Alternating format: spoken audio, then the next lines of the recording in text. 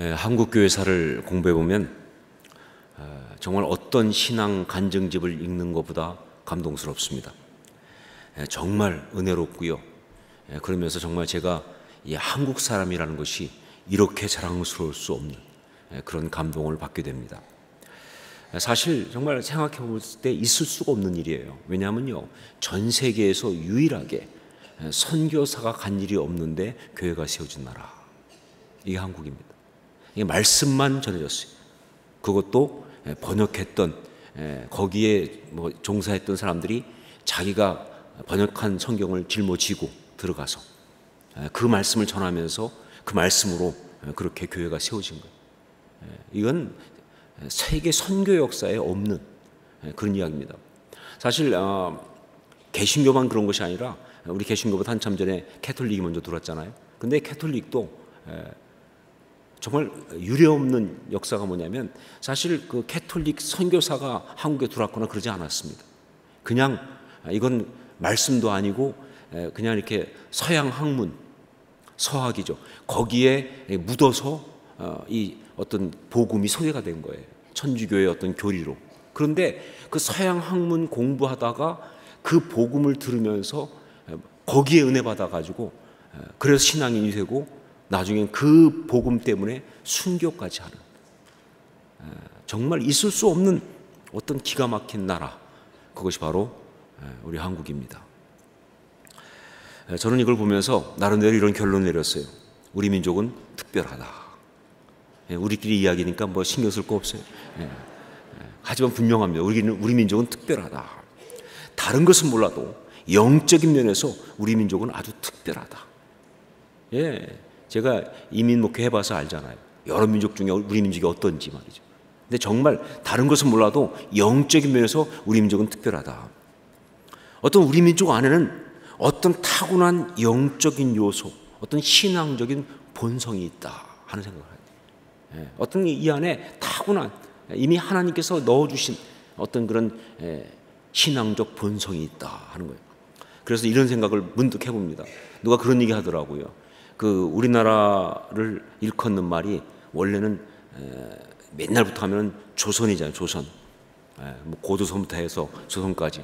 근데 그 조선이란 말 그게 아, 영어시로 표현하면 아, chosen 그러니까 아, 즉 선택받았다 그 뜻이거든요. 그래서 혹시 진짜 그거 아닌가? 물론 전혀 말이 안 됩니다.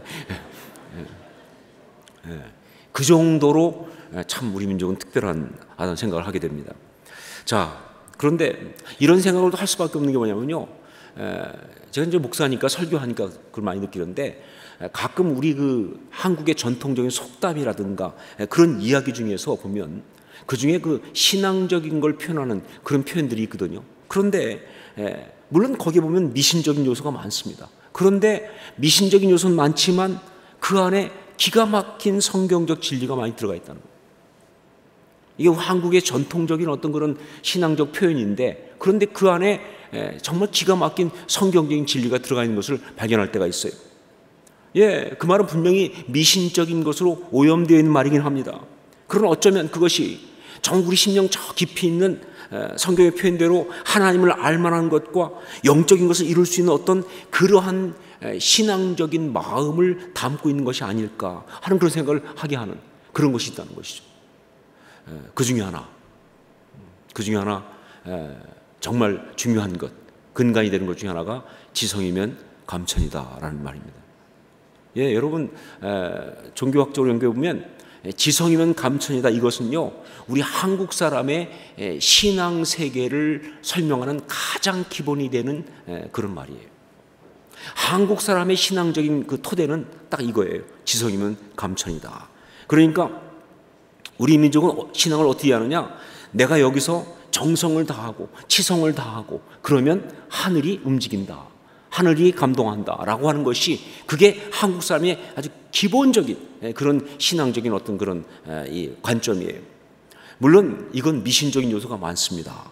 그리고 여기서부터 굉장히 많은 미신이 나왔어요. 그러니까 막 어, 새벽에 막 이 정한수 떠놓고 비는 것부터 시작해가지고 뭐 이곳저곳 막그 힘들게 다녀가면서 뭐 정성을 바치는 거며 곳곳에다가 무슨 뭐 하는 거며 뭐뭐 하여간 별별 우상들 나오는 이야기가 다 이것 때문에 나온 것 사실이에요.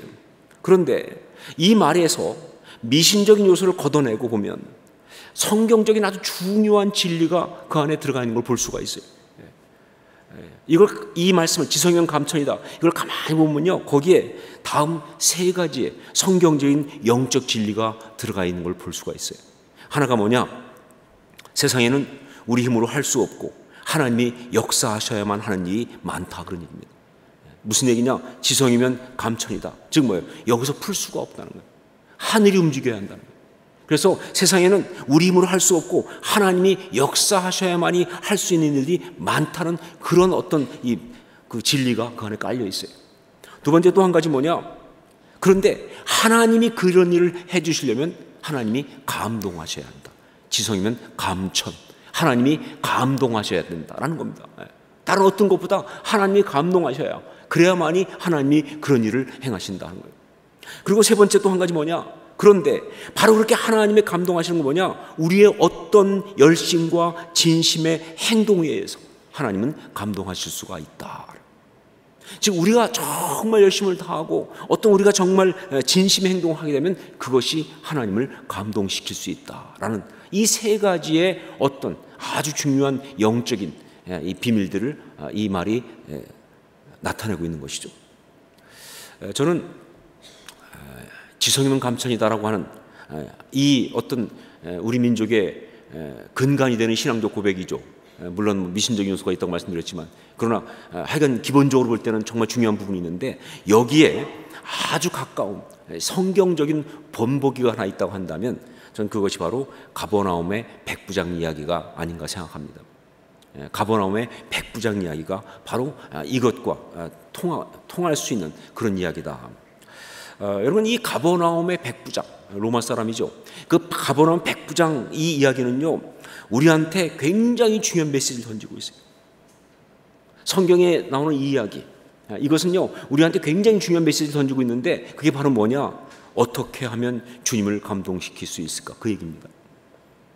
결국 이 이야기가 주고 있는 아주 중요한 메시지가 뭐냐 어떻게 하면 주님을 감동시킬 수가 있느냐 주님을 감동시키는 방법 주님을 감동시키는 그 요소, 그 이야기를 보여주고 있는 거예요. 여러분, 신앙에 있어서 이 요소는 굉장히 중요합니다. 사실 그래요. 우리가 정말 신앙생활 때 하나님께 내가 감동받고 하나님의 뜻에 따라서 내가 살아가는 것 굉장히 중요하죠. 그러나 여러분, 내가 하나님께 은혜 받고 하나님한테 감동받고 그 사랑에 감격하고 그 뜻에 따라 살아가는 것도 너무너무 중요하지만 동시에 그만큼 또 하나 중요한 게 뭐냐? 내가 하나님을 감동시키고 그래서 내가 하나님 마음을 움직이고 그래서 하나님께서 역사를 행하시도록 하는 것 또한 굉장히 중요한 거예요. 자, 그런데 이 두 번째 부분, 이건 특별히 어디서 중요하냐? 기도에 있어서 절대적인 요소입니다. 결국 기도가 뭐냐? 기도는요, 바로 이렇게 하나님을 움직이는 것이 전제되어 있는 영적인 행동이에요. 예, 그렇죠. 기도는 이렇게 예, 하나님을 움직이는 것이 전제되어 있는 영적인 행동이 바로 기도인 거예요. 그래요. 예, 성경을 보면 우리가 알 수 있지만 하나님은 전능자십니다. 예, 정말 하나님께서는 모든 것을 아시고 모든 걸 행하시는 정말 전능자시지만 그러나 절대 하나님이 일방적으로 그냥 당신이 하고 싶은 대로 하시지는 않는다는 거예요. 하나님은 다 뭐 아시고 전능자니까 그러니까 하고 싶은 대로 할수 있으니까 그러니까 일방적으로 당신이 계획한 대로 그냥 막 집행하는 그런 분이 아니라 성경 수없이 나오는 게 뭐냐? 바로 우리의 소원을 따라서 뜻을 바꾸기도 하시고 우리의 간구를 들으면서 시간을 늦추기도 하시고 정말 우리의 또 이 부르짖음 때문에 앞당기기도 하시고 이게 분명히 성경에 나오고 있는 거예요. 이건 굉장히 중요한 신앙적 요소입니다. 바로 그래서 우리한테 뭐가 가능하냐? 기도가 가능한 것이다. 예. 만약에 하나님께서 그러지 않고 그냥 예, 그냥 일방적으로 하신다. 소위 말하면 운명이라는 것. 여러분 예, 점치는 사람들은 나 내치는지 알 수가 없어요. 물론 가짜기도 하지만 정은 뭐예요? 이미 정해진 운명입니다. 뭐 40대 후반에 귀인을 만날 것이다. 정해졌어요. 그렇죠? 못 바꿔 그 사실은요. 근데 왜 뭐, 뭐로 치려고 그래? 그걸 알아서 뭐 어떡하려고. 바꿀 수 없는 일을 갖다가 왜 하려고 그러냐 그 말이죠. 이건 처음부터 물론 그 자체가 거짓말이지만 구조 자체가 잘못되어 있어요. 예. 예. 여러분 그러니까 만약 하나님의 섭리라는 것이 하나님 역사하심이라는 것이 전혀 바꿀 수 없는 소위 운명 같은 그런 것이라고 한다면 우리가 기도할 이유가 없는 거예요. 기도할 근거가 없는 거예요. 이미 다 그렇게 하시는데 뭐로 기도해? 바꾸지도 못하는데. 그런데 성경은 분명히 말합니다. 하나님은 얼마든지 그 정하신 것을 바꾸시는 분이시고 그리고 더 중요한 것 하나님이 이렇게 바꾸실 때 그때 하나님께서 그 바꾸시는 이유가 있다고 한다면 바로 우리 때문에 감동하실 때. 우리 때문에 감동하실 때 바꾸신다는 거예요. 여러분 하나님은 전능자십니다. 그렇기 때문에 절대 있을 수 없는 게 뭐냐? 하나님께서 그렇게 하시려고 했는데 능력이 안 되죠 내가 원래 심판하려고 그랬거든. 근데 요즘 내가 기력이 쇠해가지고 그래서 내가 도저히 심판이 안 된다 내가. 그래서 안 한다 있을 수가 없는 거예요. 하나님이 능력이 없으셔가지고 하시던 일을 하려고 하시던 일을 포기한 일은 있을 수가 없는 이야기예요. 왜 하나님 전능자시니까. 그렇죠? 예, 예. 여러분 또 하나님은 전지하신 분이에요. 예, 다 하시는 분이에요. 그런데 하나님께서 그렇기 때문에 하나님께서 뭘 하려고 하다가 아, 내가 옛날, 옛날에는 그걸 몰랐지 뭐냐. 그동안 상황이 바뀌고 이게 달라져가지고 내가 차, 미처 모르던 일이 있어가지고 어쩔 수 없이 내가 바꿔야겠다. 그럴 수는 절대로 없는 거예요. 모르시기 때문에, 이전에 몰랐기 때문에, 그래서 지금 바꿀 수밖에 없다. 아, 이제 세상 알았으니까 못, 못하게 됐다. 그런 일은 있을 수가 없다는 것이죠. 오직 하나. 전지전능하신 하나님께서 당신의 계획과 섭리와 이걸 바꾸신다고 한다면 딱 한 가지밖에 없다는 거예요. 그건 바로 뭐냐? 당신이 그렇게 사랑하시는 사람들과의 인격적인 관계 때문에. 쉽게 말하면 자녀 때문에 바꾸시는 거예요. 예. 사랑하는 당신의 자녀들 때문에, 당신의 사람들 때문에, 예. 예. 그들 때문에 하나님이 바꾸실 수 있을 밖에 다른 어떤 것도 없어요. 그게 하나님이세요. 그런데 특별히 하나님이 바꾸실 때 그 자녀 때문에 바꾸시는 그것 중에서 정말 중요한 게 뭐냐? 그 자녀 때문에 감동하셨어요. 속상해서 바꾸시는 건 우리가 묵상할 필요가 없어요. 정말 중요한 거냐? 그 자녀 때문에 감동하시기 때문에 그때 하나님은 바꾸시는 거예요. 그러므로 정말 능력 있는 신앙의 사람은 어떤 사람이냐라고 할 때 그건 바로 주님을 감동시킴으로 주의 마음을 움직일 수 있는 사람이 바로 능력 있는 사람이다. 바로 이런 면에서 기도의 사람은 능력 있는 신앙의 사람이에요. 여러분, 기도의 사람은 어떤 사람이냐? 바로 능력 있는 신앙의 사람이 되는 거예요. 왜냐면요, 기도는 바로 그거니까. 예, 기도는요, 정말 처음부터 그것을 바라보고 나가는 것이니까. 예, 우리가 응답받는다. 무슨 뜻이에요? 응답받는다. 그게 무슨 뜻이에요? 하나님을 감동시킴으로 하나님께서 나의 간구에 예, 이제 역사하셨다. 그 응답하시 역사하셨다. 그게 응답받는 거 아니겠죠? 그렇기 때문에 정말 예, 기도의 사람은 하나님을 감동시켜서 하나님을 움직이는 그런 능력인 사람이다라고 말할 수밖에 없는 것이죠. 전 여러분이 바로 그런 신앙의 사람일 수 있기를 주님으로 축원합니다. 특별히 몇몇 그런 게 아니에요. 우리는 막 그냥 뭐 오만 번 응답받은 기도의 사람 조지 뮬러 이런 거 자꾸 보다 보니까 기도에 대해서는 이미 포기했어요. 뮬러는 하라고 그래. 나는 못한다 말이죠. 아니요, 여러분. 모든 신앙인은 다 아, 이렇게 기도하는 사람. 그래서 하나님의 앞에서 정말 그 하나님 마음을 감동식으로 움직일 수 있는 신앙의 능, 능력자가 될 줄로 믿습니다. 우리는 그런 욕심이 있어야 돼요. 그런 우리는 정말 분명한 것이 있어야 돼요. 내가 비록 교회 다닌 지 얼마 안 됐고, 내가 비록 정말 신앙생활을 하긴 했지만 열심히 못했어도 하나 분명한 거 뭐냐? 나한테 는 확실히 열리는 가능성이 뭐냐? 내가 하나님 마음을 감동시켜서 하나님이 그 마음을 움직이시고 역사하시는 그런 일이 있을 수 있다고 믿습니다. 이건 분명한 거예요. 이 도전을 해야죠, 그렇죠? 정말 하나님이 감동하심으로 당신의 어떤 섭리를 갖다가 나를 향한 축복으로 그대로 맞춰서 맞춤형으로 쏟아부으시는 그런 이야기. 이게 바로 우리가 갖고 있는 신앙의 아름다운 이야기라는 것이죠. 자, 그러면 어떻게 할 때 우리 주의 마음이 움직이는가? 예, 가버나움의 백부장이 그걸 잘 보여줬습니다. 예, 가버나움의 백부장이 보여준 예, 그 비밀, 그 메시지를 우리가 함께 좀 나누려고 합니다. 여기 가버나움의 백부장을 보면요, 우리 주님의 마음이 뭐 연결되어 있긴 하지만 두 번 움직인 걸 볼 수가 있어요. 두 번. 그 중에 첫 번째 뭐냐? 백부장이 주님 앞에 가서 부탁을 했을 때, 그때 주님께서 백부장의 집으로 가서 기꺼이 가서 고쳐주겠다고 하시는 바로 그 부분. 주의 마음이 움직였으니까 가는 거 아니에요. 그렇죠? 바로 그 부분이 첫 번째 부분입니다. 우리 5절부터 7절까지 말씀을 함께 읽도록 하겠습니다. 5절로 7절 같이 읽습니다. 예수께서 가버나움에 들어가시니 한 백부장이 나와 간구하여 이르되 주여 내 하인이 중풍병으로 집에 누워 몹시 괴로워하나이다. 이르시되 내가 가서 고쳐주리라. 어, 글쎄요, 뭐 여러분이 말씀을 읽으면서 그런 느낌을 가졌는지 모르겠지만 조금 보면 좀 딱 마음에 걸리는 게 뭐냐면 우리 주님께서 백부장이 부탁을 하자마자 너무 쉽게 들어주신다는 거예요. 그렇잖아요. 예. 백부장이 부탁을 했는데 예, 너무 쉽게 예, 허락을 하시는데 그것도 그냥 고쳐준다는 것이 아니라 뭐예요? 내가 가서 어, 왕진 가시겠다 그러잖아요. 신방 가신다는 거예요. 내가 가서 고쳐주겠다. 어, 사실 성경을 말지만 주님 앞에 뭐막 찾아온 사람들도 말이죠. 다 못 고쳐줄 정도로 사람들이 많이 밀려들고 있는 상황이고 그런데 아니 주님은 이렇게까지 직접 그 바쁘신 분이 집에까지 가서 고쳐주겠다고 하시다니 이것이 된 일이냐. 어, 여기서 언뜻 우리가 생각할 수 있는 것이 뭐냐? 백부장이니까. 다른 사람이 부탁한 것이 아니라 백부장이 부탁했으니까. 당시 최고의 권력인 로마 사람 백부장이 부탁했으니까. 그러면서 여기서 쭉 올라오는 게 뭐냐? 역시 사람은 힘이 있고 봐야 돼. 뭐 역시 유명하고 봐야 돼. 역시 좀 돈이 좀 있어야 돼 말이지. 예수님은 결국은 이렇게 유명한 사람, 힘 있는 사람, 돈 있고 중요한 사람을 특별 대우하는 거 아니냐 하는 생각에 슬쩍 시험이 들려고 하는 그런 생각이 들어온다고요. 예, 여러분은 벌도 안 드는 것 같아요. 저는 한참 시험 들었었는데. 예. 그런데 여러분 절대 그렇지 않죠.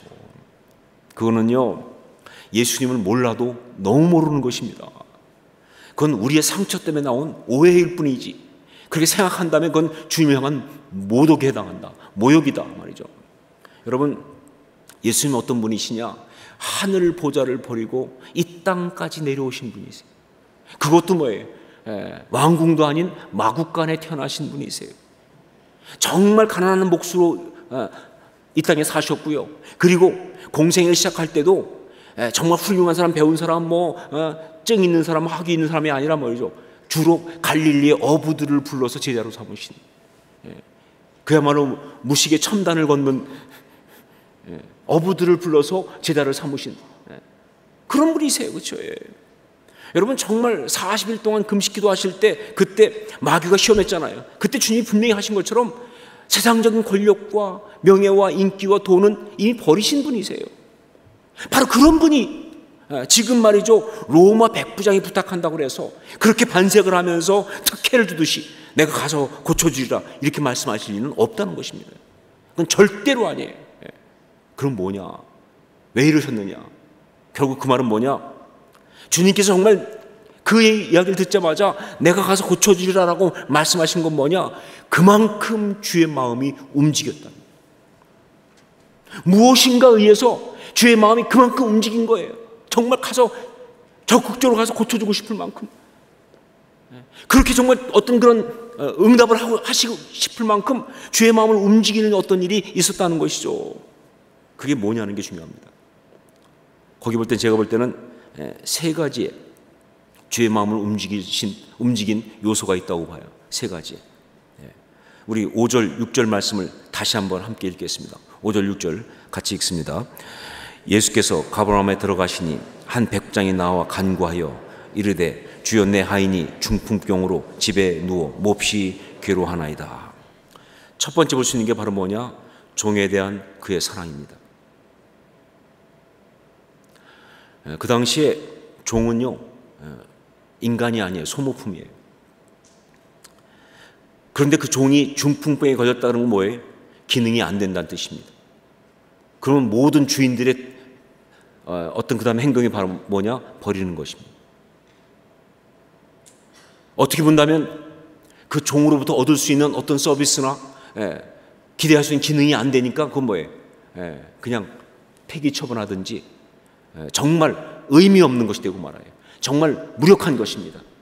그런데 그런데 이게 세상 논리고 이게 죄된 논리고 당연히 그럴 수밖에 없는 게 백부장의 어떤 예, 그 삶인데 그런데 그는요 그 종을 즉 하인을 갖다가 하인이라고 부르고 있긴 하지만 그는 하인으로 대하고 있는 것이 아니라 뭐예요? 예, 한 사람으로 그렇게 지금 대하고 있다는 것이 중요합니다. 예. 그러면서 그는요 그 하인으로부터 자기가 받을 수 있는 어떤 서비스, 자기가 받을 누릴 수 있는 어떤 혜택을 보고 있는 것이 아니라 바로 그 사람 자체를 보고 있어요. 즉 사람을 기능으로 보지 않고 뭐예요? 사람으로 보고 있는 것입니다. 그러면서 그의 고통에 그의 아픔에 초점이 맞춰져 있어요. 내가 잃어버린 것, 내가 얻지 못하는 것이 아니라 그의 아픔에 초점이 맞춰 있어요. 바로 이 점이 우리 주의 마음을 움직인 것이다. 왜냐하면요, 한 가지 분명한 건 이것입니다. 사람을 이렇게 사랑하는 사람에게 하나님은 감동하신다는 거예요. 이게 분명합니다. 하나님이 주신 사람을 이렇게 사랑하는 사람에게 하나님은 감동하신다. 그게 하나님 마음이니까. 여러분, 그러니까 정말 하나님 마음을 움직이면서 기도하기 원하세요. 예. 사람을 사랑하는 그런 기도를 한다면 하나님 마음을 움직일 수밖에 없어요. 정말 그 부모가 자기 자식을 놓고 기도할 때 예, 그게 하나님 마음을 움직일 수 있는 것이 뭐냐? 그 아, 자녀를 사랑하니까. 그 가정의 남편, 아내를 위해서 기도할 때 사랑하니까, 가족을. 성도를 사랑하니까. 민족을 사랑하니까 예. 정말 사람을 사랑하는 그 사람에게 하나님은 감동하시거든요. 이게 하나님을 움직이는 감동시키는 아주 중요한 요소 중에 하나예요. 사람을 사랑하는 사람을 하나님은 감동하신다 하는 것이죠. 두 번째 또 한 가지 예, 여기 예, 주인 마음이 움직이신 이유를 본다면 어, 자신의 한계를 인식하고 그리고 해결을 위해서 하나님의 간섭을 갈망하는 바로 그 이야기입니다. 자신의 한계를 인식하고 예, 그 해결을 위해서 하나님의 간섭을 갈망하는 예, 로마인이고 백부장이라는 것은 무슨 얘기냐? 적어도 그쪽에서는요 자기가 갖고 있는 모든 것을 다 갖고 있는 가장 능력자라는 뜻입니다. 자 그런데 그런 사람이 더구나 그다지 로마의 문명 그거는요 이 아, 이스라엘 쪽, 팔레스타인 쪽의 그 수준하고는 완전히 차이가 너무 나는 거예요. 그 첨단에 있는 사람이 예수님 앞에 나온다는 자체가 쉬운 게 아니에요. 그런 사람이 예수님 앞에 나왔다는 건 무슨 뜻이냐? 그 자체가 이런 의미입니다. 나는 할 수가 없습니다. 나는 이미 이 문제에 대해서는 방법이 없습니다. 나는 지금 한계를 절감합니다. 그 뜻이에요. 그렇잖아요. 예를 들어서 제가 만약에 어떤 사람한테 뭘 도와달라고 갔으면 그때 무슨 얘기예요? 나는 못하니까 당신이 해달라는 거 아니겠죠? 내 한계를 인정하고 나가는 거 아니에요?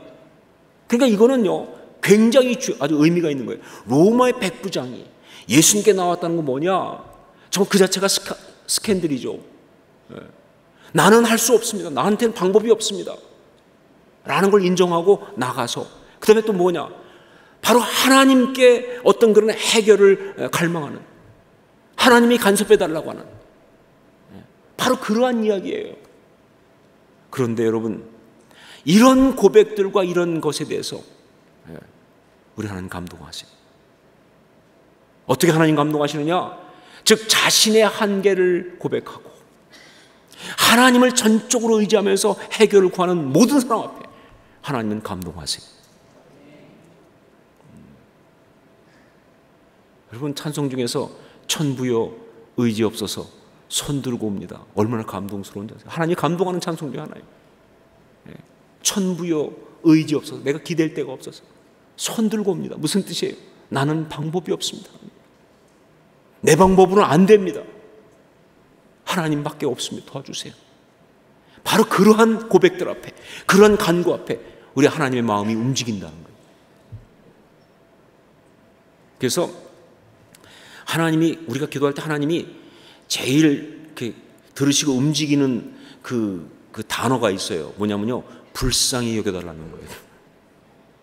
예, 예, 그 불쌍히 여겨달라는 것보다 훨씬 더 하나님께서 예, 음, 응답하시는 그런 표현을 봐면 불쌍히 여겨달라는 거예요. 불 다음에 쌍 나오기 전에 이 그 인터벌이 길면 길수록 훨씬 더 효과가 큽니다. 예. 우리는 의, 지하게 나를 좀 불쌍히 여겨주세요. 나는 방법이 없습니다. 아, 하나님이 감동하세요. 인간은 그런 존재죠. 인간은요, 자기 자신에 대해서 그렇게 쉽게 내놓지 못하기 때문에 정말 그런 것에 감동하 그래서 우리 주님이 감동하신 거예요. 백부장이 주님 앞에 나오다니 도와달라고. 그 고백이 정말 그래요. 자신의 한계를 인식하고 하나님의 해결을 구하고 하나님을 찾는 자에게 하나님은 감동하시기 때문에. 예, 이게 하나님 감동하신 거예요. 또 한 가지 세 번째 바로 권위를 인정하고 존중하는 그의 태도. 권위를 인정하고 존중하는 그의 태도. 어, 백부장이 예수님께 나와 간구하면서 그는요 예수님의 권위를 온전히 인정하고 받아, 받는 그런 태도를 취하고 있어요. 그걸 잘 보여주는 게 뭐냐? 그가 와서 예수님을 뭐라고 부르느냐 처음에 주여 이렇게 부릅니다.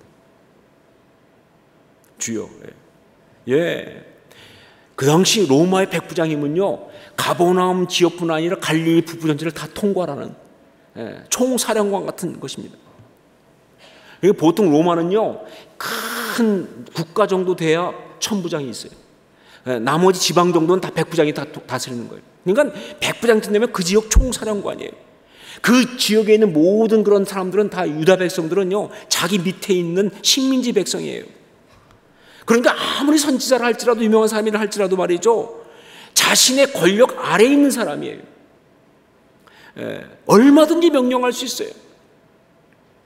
얼마든지 요구할 수 있어요. 그의 어떤 그 영적 권위를 얼마든지 무시할 수 있다 그 말입니다. 예. 그런데 그는 그렇게 하지 않았어요. 그는 와서 예수님을 뭐라고 주여라고 부르면서 그러면서 그 권위를 온전히 존중하고 있어요. 네. 여러분 이때 절대 이것이요. 아, 그 백부장이 이미 예수를 믿었다 그 뜻은 아니에요. 어떤 주석 보면 그렇게 나와요. 주여 한것 보고 이미 백부장이 그 전에 예수 예수 믿는 사람이었다. 그래서 나와서 이렇게 주님께 간구한 거다. 아니요 그렇게 보지 않아요. 예, 그런 다른 복음서하고 연결봐도 알겠지만 아직 그, 그렇게까지 갈 수는 없다고 생각해요. 다만 그는 자기 하인의 병을 고치기 위해서 정말 애쓰다가 예수님의 소문을 들었고 그래서 예수님께 나가서 자기가 간구를 하면서 바로 거기에 걸맞는 태도를 취하고 있는 거예요. 즉 그렇게 부탁하는 입장에서 정말 맞는 태도가 뭐냐? 그 권위를 존중하는 그 태도. 그래서 주여라고 부르는 거예요. 여러분, 제가 볼 때는요, 어쩌면 이 부분이 우리 주의 마음을 가장 크게 움직이지 않으셨을까 싶어요. 앞에 것도 다 주의 마음 움직였지만 이것이 우리 주의 마음을 가장 크게 움직였을 것이다. 여러분, 정말 그래요. 주님의 권위를 존중하는 그 태도가 정말 주의 마음을 가장 크게 움직인 그런 부분이었다는 것이 확실해요. 왜냐면요. 그 다음에 나오고 있는 이야기를 보면 알 수가 있어요. 이야기가 여기서 끝나지 않고 그 다음에 이야기가 이어지고 있어요. 정말 우리 죄의 마음을 아니 또 한 번 움직이면서 그러면서 그 하인의 병을 즉시 낫게 했던 바로 그 역사가 그 다음에 이어지고 있는데 그 이야기를 보면 알 수가 있다는 것이죠. 자, 말씀 보십시오. 예수님께서 백부장의 부탁을 받고 뭐라고 그러셨어요? 가서 고쳐주겠다 그랬습니다. 그러니까 가서 내가 고쳐주겠다. 그러니까 정말 굉장한 응답이잖아요. 그렇죠? 그런데 그렇게 응답하셨을 때 그 다음에 의외의 반전이 일어납니다. 즉 뭐냐? 이런 주의 말씀에 대해서 백부장이 이의를 제기하는 말을 한 거예요. 아니요. 안 고쳐주겠다는 거 아니고 고쳐주겠다고 하는데 그 다음에 백부장이 이의를 제기하는 말을 합니다. 우리 8절 9절 말씀을 같이 읽도록 하겠습니다. 8절 9절 함께 읽습니다. 백부장이 대답하여 이르되 주여 내 집에 들어오심을 나는 감당하지 못하겠사오니 다만 말씀으로만 하옵소서 그러면 내 하인이 낫겠사옵나이다 나도 남의 수하 있는 사람이요 내 아래에도 군사가 있으니 이더러 가라 하면 가고 저더러 오라 하면 오고 내 종도로 이것을 하라 하면 하나이다. 예, 주님께서 안 고쳐주겠다고 한 것이 아니. 그러면 당연히 아, 주여 고쳐주셔서 이렇게 할 수 있는 건데 아니 고쳐주겠다는 거예요. 그것도 가서 고쳐주겠다는 거예요. 그런데 백 부장이 이 일을 제기하면서 안 된다고. 예, 그렇게 오실 필요가 없다고. 그냥 말씀만 해달라고. 예, 예, 명령만 하시면 된다고. 이렇게 말하면서 막 그냥 얘기하는 이건 무슨 뜻이냐? 바로 이것이 처음부터 갖고 있던 백 부장의 마음이었다는 것이죠. 백 부장은 처음부터 이 태도로 들어간 거예요. 그러면서 이것이 정말 주님의 마음을 감동시켜서 처음부터 주님이 가서 고쳐주겠다부터 해가지고 이 즉시 고쳐주는 데까지 가게 하는 아주 중요한 요소라는 뜻이에요. 보세요. 백부장의 이 말에 우리 주님이 얼마나 감동하셨는지 우리 10절 말씀을 함께 읽겠습니다. 10절 같이 읽습니다. 예수께서 들으시고 놀랍게 여겨 따르는 자들에게 이르시되 내가 진실로 너에게 노니 이스라엘 중 아무에게서도 이만한 믿음을 보지 못하였노라. 예수께서 들으시고 놀랍게 여겨. 예, 영어 편 보니까 he was amazed 그랬어요. he was amazed. 그리고 이어서 나오는 감탄의 감격. 이스라엘 중 아무에게서도 이만한 믿음을 보지 못하였노라. 여러분, 우리가 보통 하나님의 그 사랑 막 은혜에 대해서 정말 감격했을 때 쓰는 표현이 바로 뭐예요? Amazing Grace 아니죠? Amazing Grace. 나 같은 죄인 살리신 주은혜 놀라와. 그런데 지금 이 여기는요, 우리가 하나님 은혜 때문에 받는 그 Amazing Grace라는 그 Amaze가 하나님의 마음에 지금 표현되고 있어요. 주님이 그 백부장의 어떤 행동 때문에 너무나 감동받으셔가지고 그래서 he was amazed 그랬어요. 예. 정말 그냥 감동을 받은 거예요. 이건 정말 최상급의 표현입니다. 인간이 할 수 있는 가장 놀라운 일을 한 거예요. 우리식으로 말하면 하늘을 움직인 것입니다. 아주 강력하게. 예. 주님을 향한 이 백부장의 태도. 정말 주님의 권위를 존중하는 그 모습이었어요. 다른 건 아무것도 아니에요. 이건 딱 한마디로 하면 주님의 권위를 존중하는 그런 태도예요. 오실 필요 없습니다. 예. 나도 남의 수화에 있어서 아는데 하면서 나도 내 수, 화를 두고 하는데 당신이 친히 그럴 필요가 없습니다. 말씀만 하시면 됩니다. 뭐예요? 주님의 권위를 존중하는 그 모습이요. 근데 그게 그렇게 주님을 감동시키면서 주의 마음을 움직여서 그 간구에 응답하게 하신 것이다. 여러분, 그렇습니다. 정말 그래요. 우리가, 우리의 기도가 응답되려면요. 정말 중요한 거 뭐냐? 우리가 기도하면서 이렇게 하나님의 권위를 온전히 존중하는 영적인 태도를 취해야 한다는 거예요. 어떻게 해야 기도가 응답될 수 있는가? 예, 하나님의 마음을 감동시켜야 돼요. 그래서 하나님 움직이게 해야 되는데 그 중요한 게 뭐냐? 하나님의 권위를 이렇게 온전히 존중하는 바로 그런 것이 중요하다는 것이죠. 이게 얼마나 중요한지는요, 그 반대를 생각해 보면 금방 알 수가 있어요. 하나님의 권위를 존중하지 않으면서 그러면서 하나님께 간구하는 것은요, 우리가 하나님께 할 수 있는 최고의 모욕이에요. 하나님을 믿지도 않으면서 해주세요. 최고의 모욕입니다.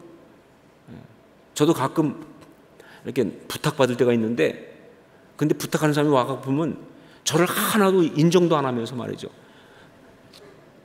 기대도 안 하면서 그러면서 그냥 입으로만 해주세요. 그러면요, 저 때려주고 싶어요. 이게 뭐야? 이 이따위가 다 있어. 그렇잖아. 이건 나를 향한 최고의 모독이에요. 예. 여러분, 그래요. 하나님의 권위를 인정하지 않으면서 그러면서 하나님께 뭘 간구한다는 것은요, 그건 해서는 안 되는 기도입니다. 그건 있을 수 없는 간구예요. 그건 말이 안 되는 거예요. 그렇기 때문에 그 반대는 정말 중요합니다. 우리가 정말 기도하는 사람이라고 한다면 정말 무엇보다 응답받기 원한다고 한다면 하나님의 권위를 존중하는 그런 자세, 그 태도를 반드시 가져야 되는 거예요. 그게 바른 거예요. 이게 온전히 응답받을 수 있는 비밀이에요.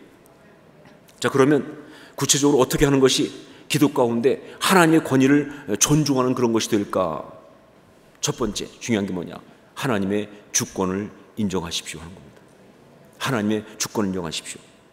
여기 백부장이 예수님 향해서 주여라고 부르는 것 정말 중요합니다. 그냥 딴 단어가 아니고 선생님도 아니고 주여입니다. 이것은 바로 내 삶과 이 모든 일의 주권이 바로 당신께 있습니다. 라고 고백하는 그 고백입니다. 바로 이게 정말 중요해요. 우리가 기도할 때 정말 간구하고 부르짖으면서 정말 중요한 게 뭐냐? 이 모든 것의 주권이, 이 모든 일의 주권이, 내 삶의 주권이 하나님께 있습니다. 하나님이 주인이십니다는 것을 그걸 놓치지 않고 하는 게 중요해요. 그게 진짜 기도거든요. 제가 한번 아들을 위해서 기도하는데 뭐 그냥 그래도 좀 아, 하나님께 간절히 기도하면서 뭐 이 아들에 대해서 이렇게 해주시고 막 기도하고 있는데 참을 나름 심각하게 기도하고 있는데 마음속에 하나님께서 이런 대답을 주시더라고요. 걔가 네 아들만이냐 내 아들이지. 내가 깜짝 놀랐어요 그 순간 제가 보니까 그 순간 내가 기도할 때 보니까 내 아들을 하나님께 그냥 이렇게 부탁하는 그런 분위기로 기도하고 있더라고요. 아니요. 그 아들의 진짜 아버지는 내가 아니라 하나님이세요. 그 아들은 하나님 거예요. 그 아들 통해 이루신 역사는 하나님 역사가 되어야 됩니다. 내가 원하는 걸 이루는 게 아니에요. 근데 우리는 종종 하다 보면요, 내일 가지고 하나님한테 요구하듯이 기도할 때가 있어요. 정말 잘못된 거예요. 주권은 하나님께 있어야 합니다. 하나님이 주인이셔야 되는 거예요. 교회도 마치 교회를 기도할 때도 마찬가지예요. 그때도 그런 일이 있었는데 막 교회를 기도하면서 막 그냥 목회에서 간구하고 있으면요 하나님이 어떤 데 보면 막 웃으세요. 왜냐면 그게 네 교회니 내 교회지 말이죠. 가끔 보면요 내가 들고 온 교회처럼 생각하고 기도할 때가 있어요. 이건 잘못된 겁니다. 여러분 기도의 정말 중요한 초점 뭐냐? 정말 하나님의 마음을 감동시킬 수 있는 기도는 바로 뭐냐? 하나님의 주권을 끝없이 인정하면서 하나님 주권을 인정하면서 그러면서 기도할 때예요. 하나님이 주인이세요. 주의 뜻이 이루어져야 합니다. 예. 이 관점이 정말 내가 원하는 것, 내가 필요한 것을 그분한테 뽑아가는 게 아니에요. 그분 겁니다. 그분의 이야기예요. 그분이 주인이세요. 예, 이게 정말 중요한 것이다. 권위를 존중하는 기도는 뭐냐?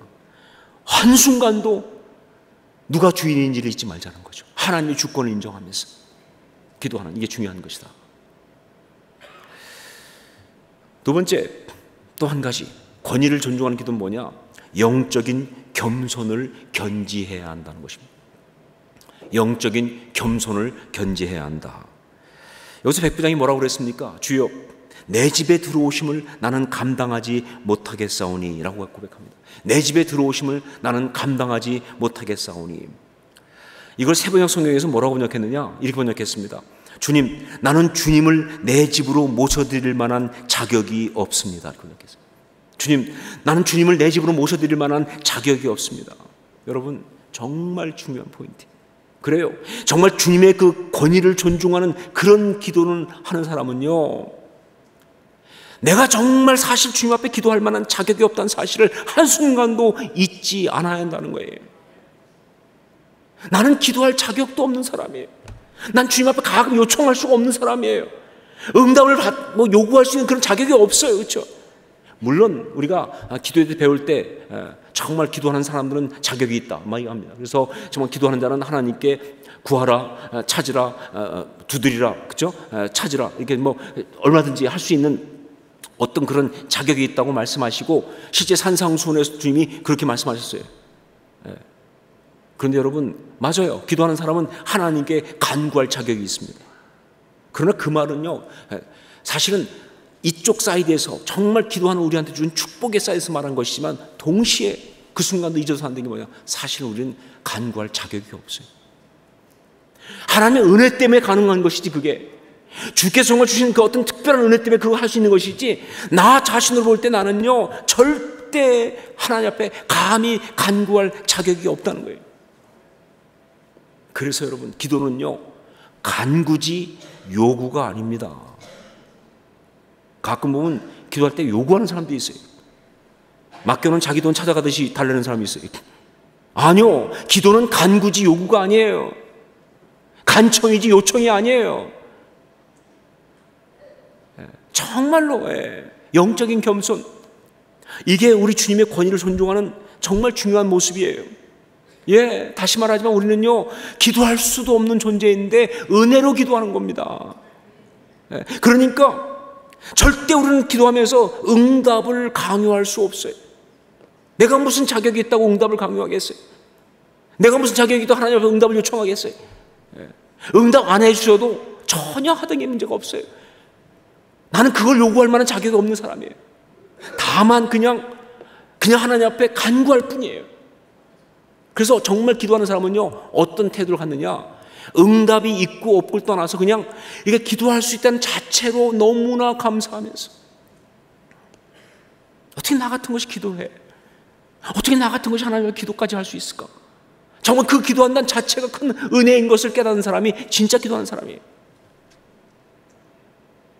가끔 보면 기도한다는 사람들 중에서도 말이요 보면요 무슨 기도를 하나님 앞에 해드린다고 생각하는 분들 있어요. 기도 좀 해드릴까? 그게 무슨 내가 뭐 이게 선심 쓰는 건 줄 아세요? 혹은 내가 무슨 뭐 의무하는 건 줄 아니요. 정말 하나님이 내게 준 그 놀라운 축복을 누리는 거예요. 기도할 수 있다는 게. 여러분, 기도하면서 이, 이, 이 감격을 온전히 체험하셨나요? 참 많은 사람들이 자꾸 잊어버려요. 저도 잊어버려요. 이렇게 귀한 축복을 갖다가 몰라요. 하도 기도를 어, 뭐할 수 있으니까 그랬는지 모르겠지만 그냥 편하게 생각해서 그랬는지 모르겠지만 그냥 하는 거예요. 아니요. 이건 정말로 하나님이 내게 준 최고의 축복입니다. 나 같은 것이 기도를 하다니 말이죠. 바로 그것이 하나님 마음을 감동시킵니다. 하나님의 권위를 존중하는 바로 그런 거예요. 영적인 겸손. 이게 중요합니다. 나는 감히 기도 못합니다. 나는 하나님께 요구할 자격도 없습니다. 그러나, 그러나, 은혜를 의지해서 그래도 말씀드립니다. 그때 우리 하나님 마음이 감동하시고, 하나님의 권위가 존중되는 것이다. 세 번째, 하나님의 전능하심을 온전히 인정하십시오 하는 것입니다. 어떻게 해야 하나님의 권위를 온전히 존중할 수 있느냐? 그건 바로 하나님의 전능하심을 온전히 인정하십시오. 백부장이 다만 말씀으로만 하옵소서 그러면 내 하인이 낫겠사옵나이다 라고 한 이 고백은요 무엇보다 그가 이 주님의 능력을 온전히 신뢰하고 존중하고 있다는 것을 말하는 거예요 이게 바로 권위를 존중하는 거예요 정말 때때로 기도하는 사람들은요 자기의 어떤 생각이나 인간적인 감정이나 혹은 객관적인 상황이나 현실 때문에 하나님의 전능하심에 대해서 의심이 들어올 때가 있어요. 정말 그래서 회의하면서 기도할 수가 있어요. 예. 그런데 여러분, 만약에 그 순간 하나님의 전능하심을 온전히 믿지 못하고 그냥 회의하면서도 그냥 기도하고 있다면 그건 하나님을 향한 경멸이에요. 하나님을 향해서 우리가 기도하는 사람이라면 결코 해서는 안 되는 그런 행동이라는 것이죠. 여러분, 이게 어느 정도인가를 보여주는 이야기가 하나 있죠. 마가복음에 보면 그 자기 아들이 귀신 들려 가지고 막 그 어려움을 겪고 있을 때 그때 그 아버지가 그 아들을 데리고 제자들한테 왔다가 안 되니까 막 난리가 났었잖아요. 그렇죠? 그다가 주님 오시니까 주님 앞에 데리고 나와서 그때 한 얘기가 있습니다. 뭐라고 그러냐면요. 그러나 무엇을 하실 수 있거든 우리를 불쌍히 여기서 도와 주옵소서라고. 얘가 이렇게 막 그냥 귀신이 불과 물에 막 던집니다. 그러나 무엇을 하실 수 있거든 우리를 불쌍히 여기서 도와주옵소서. 그 아버지로서는요 정말 가슴 타는 이야기를 한 거예요. 그런데 그때 예수님께서 아주 무섭게 하신 말씀이 뭡니까? 할 수 있거든이 무슨 말이냐? 믿는 자에게는 능히 하지 못할 일이 없느니라. 책망하듯이 말씀하셨어요. 왜? 네. 바로 그렇게 하나님의 전능하심을 의심하면서 회의하는 그 모든 간구는 그 책망받을 만큼 잘못된 거예요. 그건 정말 영적 문제가 있는 거예요. 그래서 우리 주님이 아주 책망하듯이 단호하게 말씀하신 거예요. 하나님 향한 모독이니까 이것은요. 할 수 있거든요. 무슨 말이냐. 네. 여러분, 그래요. 상황과 감정, 내 생각이 어떠하든 간에 기도하는 사람은 끝까지 하나님의 그 전능하심을 믿고 붙들고 나가야 돼요. 그게 하나님을 향한 하나님의 권위를 존중하는 그 모습이에요. 다만 지금 안 되는 것은 그냥 하나님이 보실 때 때가 아니어서 더 좋은 것 때문에 그래서 그런 것이지 그분이 예, 하실 수 없어 그런 게 아니에요. 그래서 기도할 때 가장 큰 싸움은 뭐냐면요. 현실이 하나님보다 커 보일 때가 큰 싸움이에요. 상황이 하나님보다 커 보일 때가 큰 싸움이에요. 내 생각, 감정이 하나님보다 커볼 때가 큰 싸움이에요. 예. 저도 기도할 때 어떨 때 보면요. 어떨 때는 자주 그렇지만 현실이 더 커 보여. 막. 어떤 걸 해 주십시오 그러면서도 마음속으로 이건 안 될 것 같은데 이건 불가능한 거야. 확률상 된 적이 없어. 이런 얘기 나온다는 거죠. 여러분 이건 정말로 이건 우리의 하나님을 향한 우리 마음에 문제가 있는 거예요. 예, 내 감정은 그렇게 느끼고 있어요. 내 생각은 그렇게 말할 수밖에 없어요. 그러나 그 순간도 신앙은 뭐라고 하느냐? 그러나 주님이 전능하신 분, 주님께서 원하시면 할 수 있다고 믿습니다. 전심을 다해서 그 고백을 해야 돼. 그냥 입술로 하는 것이 아니라 전심을 다해서 내가 정말 처절한 싸움으로 말이죠. 이게 기도의 싸움이에요, 사실은. 하나님의 권위를 온전히 존중하는 기도. 이게 중요합니다. 가버나움 백부장은 우리에게 기도의 정말 중요한 자세, 비밀을 알려주었습니다. 예, 그건 바로 권위를 존중하는 기도 그것입니다. 우리 하나님의 마음을 움직일 수 있는 너무나 중요한 기도의 이야기. 저는 이렇게 생각합니다. 한국 성도들 정말 다른 어떤 것보다 기도로 유명합니다. 예.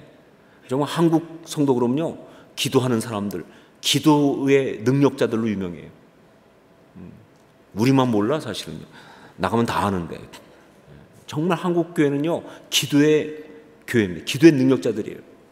그런데 한국 성도들이 정말로 기도로 어, 유명하고 기도의 능력자였다고 한다면 전 그것이 어디에 있겠느냐? 바로 저는 이 권위를 존중하는 바로 거기에요. 온전히 하나님 앞에 나갈 때마다 한국의 신앙의 선배들은요, 하나님의 권위를 존중하면서 그의 전능하심을 신뢰하면서 그분께 모든 걸 올려드리면서 정말 예수님처럼 그렇게 나의 원대로 마옵시고 아버지 뜻대로 간구하면서 그렇게 온전히 권위를 올려드리면서 그러면서 그렇게 기도했어요. 그게 한국교회 기도의 비밀이에요. 그러므로 이 시대에 기도하는 사람들인 우리들은요. 이제 다시 한번 한국교회 영성을 회복하기 원한다고 한다면 다른 것이 아닌 정말로 하나님의 진정한 권위를 존중하는 그러한 영성을 회복함으로써 그 태도를 회복함으로써 그 자세를 붙들면서 예, 하나님을 정말로 경외하는 하나님을 정말 존중하는 그 권위를 인정하는 그러한 어떤 영적 태도를 우리가 회복함으로써 그 기도의 능력을 회복해야 될 줄로 믿습니다. 이게 정말 중요한 거예요. 예, 저는요, 요즘 설교하면 할수록 그리고 정말 묵상만 할수록 계속 제 마음속에 드는 부담은 바로 뭐냐?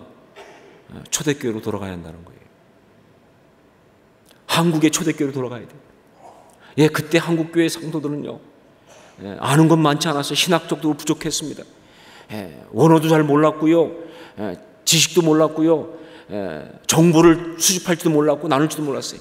그러나 심지어 그 중에 어떤 사람은 글도 잘 못 읽었어요. 그러나 정말 아버지 앞에 기도할 때 보면요. 정말 하나님을 너무 경외하면서 그 하나님을 정말 그 하나님의 권위를 온전히 존중하면서 절대 함부로 말하지 않고 전부터 경고망동하지 않고 정말 살아계신 하나님의 그 권위를 온전히 존중하면서 그렇게 나갔습니다. 그래서 역사가 일어나는 거예요. 바로 우리가 다시 한번 그런 역사를 일으켜야 한다는 것이죠. 그게 이 시대의 대답이라고 생각해요. 그런 여러분, 그런 제가 될 수 있기를 주님으로 축원합니다. 기도하겠습니다.